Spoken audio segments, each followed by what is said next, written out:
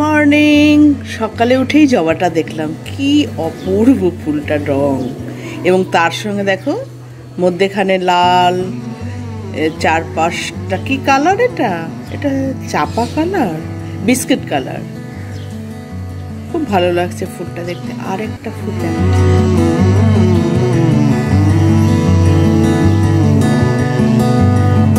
এই যে এটাও শিবের কানে ঝোলে। আরও কিছু ফুল ফুটেছে দেখাচ্ছি দাঁড়াও। শিউলি ফুল। আর এই যে হলুদ কলকে ফুল আজকে প্রচুর ফুটেছে। আগে না কলেজ যেতাম এগুলো দেখার কোনো অবকাশই নেই। এখন বাড়ির চারপাশে এই ফুল গাছ দেখে হ্যাঁ, বাদর পায়রা আরও সব পশু পাখি দেখে কি যে ভালো লাগে সকালে উঠে না। এই যে একটু আগে শিউলি ফুল দেখালাম। একদম বাড়ির, একদম লাগোয়া গাছ, এটাও বাড়ির লাগোয়া গাছ। কোনোটাই কিন্তু আমার বাড়ির না, কিন্তু একদম বাড়ির মধ্যে ঢুকে পড়ছে গাছগুলো। তাহলে বন্ধুরা, আমি কলেজের পিছনে চলে এসেছি একটু, কারণ আজ শেষ দিন। সব খাতা টাতা নিয়ে নিলাম, বাড়ি বসে সব মার্কস আপলোড করতে হবে, এবং পুজোর আগেই সম্ভবত করতে হবে। আগে বলতে দু তিনটে দিন, এর মধ্যেই বাড়ি বসে কাজ করতে হবে। আর এই সোনাঝুরি গাছগুলো, এগুলো সব আমরা টিচারেরাই লাগিয়েছিলাম আমার পূর্ববর্তী প্রিন্সিপালের না বোধহয়, এটা আমার আমলে এবং আমার পরেও বোধহয় কিছু কিছু লাগানো হয়েছে।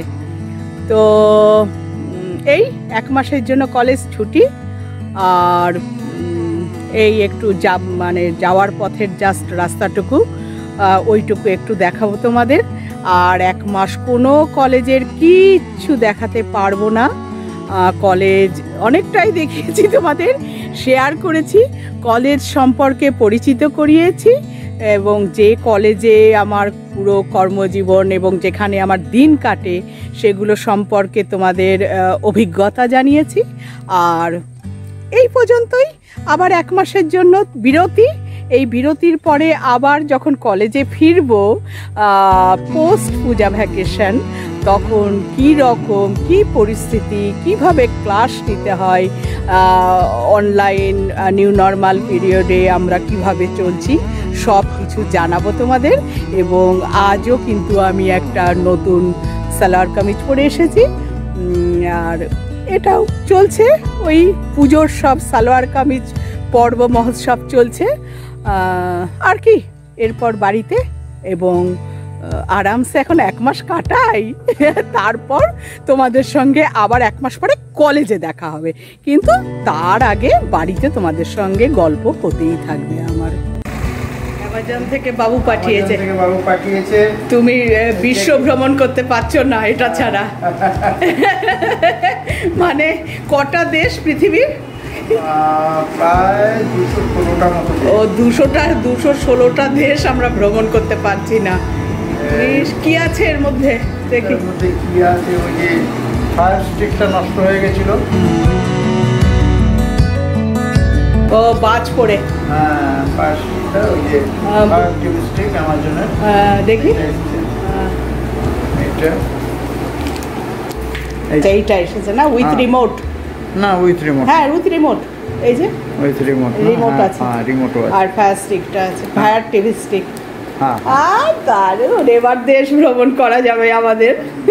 ঠিক ঠিক। মানে বাজ পড়ে বন্ধুরা বাজ পড়লে কিন্তু টিভি বন্ধ করে দিতে হবে না হলে। বাপরে বল না কটা যাওয়া হয়েছে? কটা কটা বল অনেকগুলো। শাড়ি? শাড়ি হলো আর যে কুর্তি? অকুর্তি। না? দুটো। তিনটে। অনেক অনেক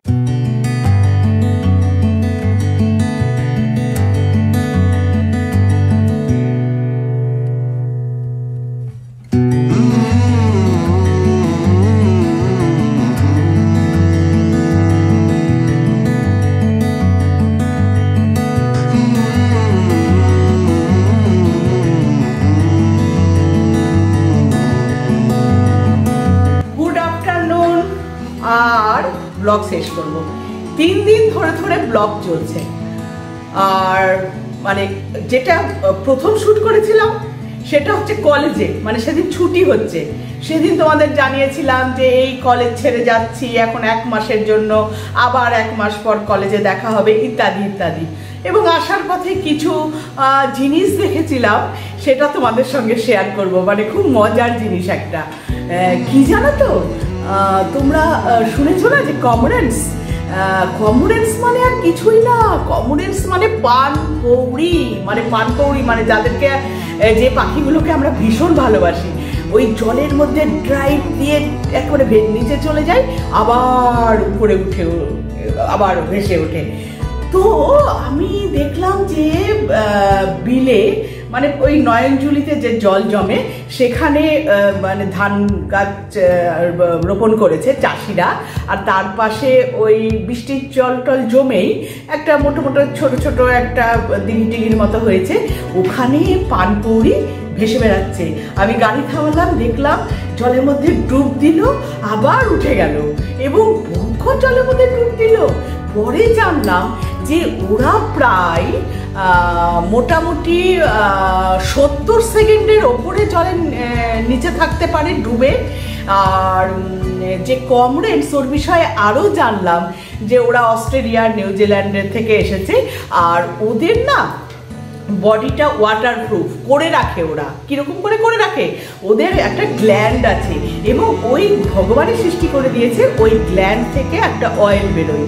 এবং ওই অয়েল ওরা সারা গায়ে ঠোঁট দিয়ে লাগিয়ে নেয়। এবং যার ফলে যখন জলের মধ্যে ওরা তলায় থাকে মানে ডুবে যায়, আবার ওপরে ওঠে, পাখাগুলো থেকে কিন্তু জলগুলো রেনকোটের মতো সব কিন্তু ঝরে পড়ে। মানে ভগবানই ওদের রেনকোট বানিয়ে দিয়েছে। কি অদ্ভুত না? আর ওরা না এরকম ব্রিডিং কলোনি আছে ওদের। ওখানে ওদের ওদের ব্রিড করার জন্য ওরা ন্যাচারালি ওরা ফিমেল কমরেটকে ওরা মানে বসে থাকে কখন ফিমেল কমরেট আসবে এবং কম অ্যাকচুয়ালি কামারেন্ট ফিমেল কামারেন্ট আসবে এবং তার সঙ্গে মেট করবে। তো ওইগুলো খুব রেয়ার দৃশ্য। ওগুলো আমি পড়েছি, শুধু জানি না। আমি শুধু দেখলাম কামারেন্টটা পানকৌড়িটা ভেসে বেড়াচ্ছে, আবার ডুব দিচ্ছে, আবার উঠছে এবং ঠোঁটে মাছ। ওরা কি জানো তো? ছাব্বিশ, সাতাশটা করে মাছ মানে ছাব্বিশ থেকে তিরিশটা মাছ একদিনে ধরে খায়। আমরা এক টুকরো, দু টুকরো, যাই হোক ম্যাক্সিমাম তিন টুকরো। ওরা ছাব্বিশ, সাতাশটা মাছ একদিনে খেয়ে নেয়। তো মোটামুটি এই পানকৌড়ি আর ওদের ডানা শুকোনোটা খুব সুন্দর। এরকম করে থাকে ডানা শুকোনোর জন্য। এরকম আমি অনেক সময় দেখেছি যে গঙ্গার ধারে ওর পালে পালে একসঙ্গে থাকে ওরা ওই কমরেন্টগুলো ডানা শুকোচ্ছে এরকম করে। খুব সুন্দর দেখতে লাগে। কমরেন্ট ফিশিং আছে, চীন, জাপানের, ইন্দোনেশিয়া, ওই সমস্ত জায়গাতে লোকেরা কমরেন্টকে এরকম ছেড়ে দেয় জলের মধ্যে ড্রাইভ করে মাছ ধরে আবার নিয়ে এসে দেয়। তো ওরা লাঠির উপর ওরকম করে কমরেন্টগুলোকে পানকৌড়িগুলোকে বসিয়ে নিয়ে যায়। তো সেই ক্লিপিংসটাও দিব। তো এতগুলো কথা বললাম কেন জানো তো? আমি ওই যে আসার পথে বিলে যে পানকৌড়ি দেখেছিলাম, ওইটা দেখেই আমার জানার আগ্রহ হলো এবং সেই সম্পর্কে তোমাদের শেয়ার করলাম। যে আমি নিজের চোখে এই জিনিসগুলো মানে ওদের ড্রাইভ দেওয়া, ওদের ডোবা ওদের ওঠা, ওদের সাঁতার দেওয়া। আর জানো তো এই যে এসছে হ্যাঁ নমিতা পাঠিয়েছে ব্যাঙ্গালোর থেকে হ্যাঁ এবং ও অনেকদিন ধরেই বলছে, আন্টি আন্টি, খোলো খোলো খোলো, কবে খুলবে তুমি, কবে খুলবে? তো এই খুলছি আমি। কেটে না ফেলি, এই এক ভয়। মানে খুলতে গিয়ে যদি কেটে ফেলি, এটা। What is দিস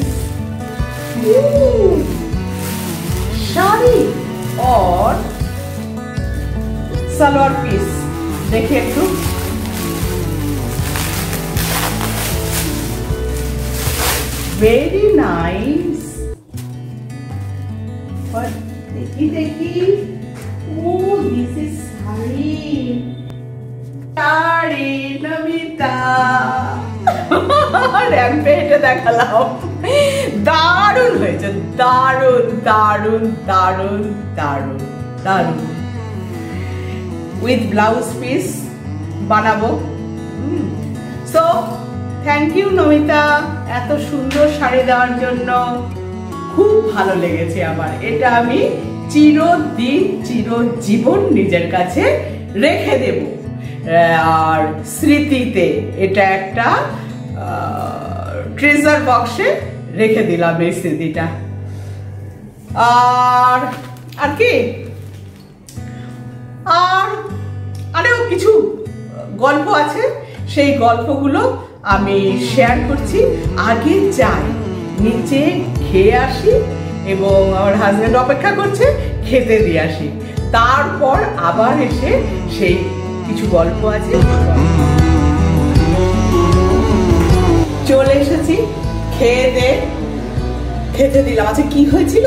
আজকে মাছের ঝোল, সব রকম সবজি দিয়ে মাছের ঝোল পাতলা করে ঝোলটা। আর তার সঙ্গে শুশনি শাক ভাজা উচ্ছে সেদ্ধ আর পটল ভাজা হ্যাঁ কাতলা মাছ ছিল। আর রাত্রিবেলা আবার অন্য কিছু হবে। তো যেটা বলছিলাম কলেজ ছুটি হওয়ার দিনই আমি রাশি রাশি অফলাইন খাতা নিয়ে বাড়ি এসেছিলাম। অনলাইনগুলো তো কম্পিউটারে চেক করব, আর অফলাইনগুলো হার্ড কপিতে দেখে আপলোড করতে হবে। হ্যাঁ আমার বলতে পারো একটু তো প্ল্যান করতে ভুল হয়েছিল। মানে আমার এসে এসে খাতাগুলো দেখে নিতে হতো। কিন্তু মোটামুটি এক দুদিন পেরিয়ে গেছে। আমি অনলাইনগুলো দেখছি, আর মাথার উপর এত চাপ এত অফলাইন খাতা? জেনারেল কো কোর্স প্রায় আমার ঘাড়ে পড়েছে ছশো পেপার্স তার সঙ্গে অফলাইন অ্যান্ড অনলাইন আর অনার্স মোটামুটি অফলাইন অ্যান্ড অনলাইন মিলিয়ে এদিকে বাহান্নটা আর ওদিকে তেরোটা। তো এত এবং এতগুলো মার্কস আপলোড করা। হঠাৎ করে প্রিন্সিপাল বলছে যে, এটা তো বাইশ তারিখ লাস্ট ডেট বাপরে, আমার মাথায় বাজ ভেঙে পড়েছে। বাইশ তারিখ লাস্ট ডেট আর আমি আপলোড করব খাতা দেখতে হবে, ভালো করে তারপর আপলোড করতে হবে ডকুমেন্টেশন একটা। তো সুতরাং সেটা সম্ভব না। এবং পঞ্চমীর দিন আমি নদীতে আসলো আমার কাছে, আমার কলিগ হ্যাঁ এডুকেশন পড়াই তো নন্দিতা কেন? নন্দিতা, আয় তো একটু প্রথমে আমাকে একটু ইন্সপায়ার কর। আমি যেন একেবারে এনার্জি লিকেজ হয়ে গেছে আমার, এবং জিরো কনফিডেন্স কোথাও যেন একটা ভুগছি আর বিশেষ করে তো হ্যাঁ নন্দিতা আসলো। নন্দিতা আসার পরে ক্লিপিংস দেখাবো একটু। নন্দিতার সঙ্গে খুনসুটি করছি আমি। ওর আমার, আমাকে খুব ভালোবাসে ও হ্যাঁ অ্যাকচুয়ালি তো নন্দিতা এসে আমাকে ইন্সপায়ার করছে, ম্যাডাম, কোনো ব্যাপার না, এটা হয়ে যাবে। সব কিছু ওকে সুন্দরভাবে হয়ে যাবে। আপনি এত চিন্তা করছেন কেন? এবং আমার হাজবেন্ড তো আছেই। উনি তো মানে একদম ভরসা দিয়েই যাচ্ছেন। মানে আমার থেকে আমার হাজবেন্ডের মাথাতেই ওই প্ল্যানটা বেশি ঘুরছে যে আমি কি করে খাতাগুলো দেখব। তারপর যাই হোক তখনই প্রিন্সিপাল ফোনটা এসেছিল। আর আমি কেঁদে ফেলেছি নন্দিতার কাছে। নন্দিতা, এই যা বাইশ তারিখে করতে হবে। এত খাতা, কখন হার্ড কপি সফট কপি কি আপলোডিং হ্যাঁ তারপর কেঁদে ফেলেছি। তারপর বলছি, কাঁদছে, আমার হাজবেন্ড কাঁদছো কেন? তুমি কোনো ব্যাপারই না। তারপরে হলো সেদিন অনার্সগুলো হয়ে করে দিলাম অনলাইন তারপর ষষ্ঠীর দিন মানে সেদিন বাইশ ষষ্ঠী কোথায়? বাইশ তারিখ, এই তো, গতকাল। গতকাল মাথায় চাপ সকাল থেকে বসেছি মানে আগের দিন কেঁদেছি। কারণ একটা দিনই সময় আছে বাইশ তারিখ। যদি পোর্টাল বন্ধ হয়ে যায় ইউনিভার্সিটির তাহলে কি হবে? মানে ছাত্র সঙ্গে সঙ্গে তো আমিও মরে যাব। সাংঘাতিক ব্যাপার হবে। ওটা একটা মানে কি বলব ব্ল্যাক প্যাচ আমি জানি না ওটা সারানো যাবে কিনা। তো সকাল থেকে বসেছি। বসে অফলাইন অনলাইন জেনারেল কোর্সের ও সেদিন অনার্স করে দিয়েছিলাম পঞ্চমী দিন কেঁদে টেঁদে। হ্যাঁ তারপর জেনারেল কোর্সের সমস্ত অফলাইন অনলাইন দেখে মার্কস আপলোডিং করতে করতে সাড়ে দশটা রাত সাড়ে দশটা সাড়ে দশটায় সঙ্গে সঙ্গে হোয়াটসঅ্যাপে মেসেজ করে দিলাম কলেজকে জানিয়ে দিলাম যে I have done successfully checking and uploading the marks of general and honours and all তো শুধু এইভাবে তখন গিয়ে আমার হাসিটা আসলো। তার মানে পঞ্চমীতে কাঁদলাম আর ষষ্ঠীতে হাসলাম। এই হচ্ছে ব্যাপার। আর ছাব্বিশে অক্টোবর। তাতায়ের জন্মদিন। সোমা তোমার ছেলে। ডা, ভালো নাম সিদ্ধার্থ তাতায়ের তাতাই আমার ছেলের মতো এবং খুব ভালো ছেলে। আমার যা মনে হয়, এটা একটা ভার্চুয়াল সান কিন্তু আমার মনে হয় ও ভীষণই ভালো ছেলে। তো Tatai happy birthday to you Dashami পড়ছে সেদিন। হ্যাঁ বিজয়া দশমীর দিন আমারও জন্ম। তাই তো আমার ভালো নাম বিজয়া। হ্যাঁ তো ওকে তাতে জীবনে বড় হও খুব ভালো ছেলে হও এবং ভালো নাগরিক হও। আর তার সঙ্গে সঙ্গে গুরুজনকে শ্রদ্ধা করো এবং তার সঙ্গে লঘুজনকে ভালোবাসা প্রদর্শন করতে শেখো এবং অবশ্যই তুমি তাই, কারণ তুমি তোমার মাকে এত ভালোবাসো তুমি আন্টিকেও ভালোবাসো। তাহলে তুমি খুব ভালো ছেলে এবং আমি জানি তুমি অনেক অনেক অনেক বড় হবে। সুতরাং ওই দিনটাকে স্মরণ করে বলি, many many many happy returns of the day আর কি, এই তো হলো ঘটনা। আর পানপুরিটা দেখাবো তোমাদের। আমার প্রকৃতির কিচ্ছু কিচ্ছু টুকরো টুকরো জিনিস ভীষণ ভালো লাগে। আসলে প্রকৃতিকে নিয়েই থাকি। আর প্রকৃতির মাধ্যমেই এই মেটেরিয়ালিস্টিক যে জিনিসগুলো, সেগুলোকে উপভোগ করি। আর নমিতার শাড়িটা খুব সুন্দর হয়েছে। ওটা হ্যান্ডক্রাফটেড শাড়ি আজিও কোম্পানির খুব ভালো হয়েছে। খুব সুন্দর ভেরি এলিগ্যান্ট হ্যাঁ। আর কালারটা খুব সুন্দর। থ্যাংক ইউ নমিতা আর থ্যাংক ইউ কেন বলব ডটারের মতো তুমি তুমি ডটারই সুতরাং তুমি খুব ভালো থাকো। আর কি, এই বলে দুর্গাপু দুর্গাপুজোর অভিনন্দন ভালোবাসা আদর, ছোটদের আদর বড়দের প্রণাম, সবাইকে জানিয়ে আমি আজকের এই ব্লগ, তিন দিনের ব্লগ শেষ করছি। টাটা। আর যদি আমার ভিডিও ভালো লাগে, তাহলে লাইক করবে কমেন্ট করবে, আর অবশ্যই শেয়ার করবে। আর এভাবে ভালোবাসতে থাকবে। আর আমিও এইভাবে আমার জীবনটাকে তোমাদের সঙ্গে শেয়ার করতে থাকব। বাই বাই এই যে জন্মদিন তোমার তোমার জন্ম হয়েছিল বলে আমি উদ্ধার হয়েছিলাম। না না, সত্যি তুমি সব সময় আমার পাশে থাকো বিপদে। আর তোমাকে যেন প্রতি জন্মে পাই। আর হ্যাঁ, সত্যি।